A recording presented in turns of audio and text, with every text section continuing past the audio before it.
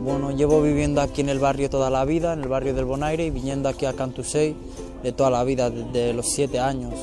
Pues hacer actividades, no estar en la calle, jugar a fútbol, estar aquí en el futbolín, tener amigos, conocer a gente. Bueno, conocí a un amigo que juega al fútbol y me trajo para jugar y todo empezó ahí. No, porque siempre me, divierto, estoy siempre jugando. Sí. Ves a los chavales del barrio y eso, y pasas un buen rato.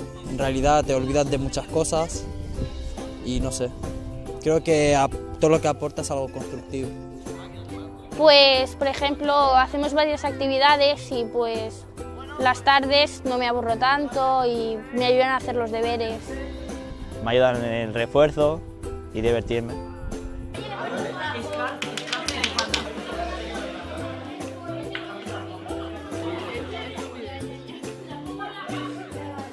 A lo mejor estarían en otros lados, a lo mejor, a lo mejor no sacándole tanto provecho al tiempo. Eh, quiero estudiar medicina forense. Me gustaría ser monitor de Splay.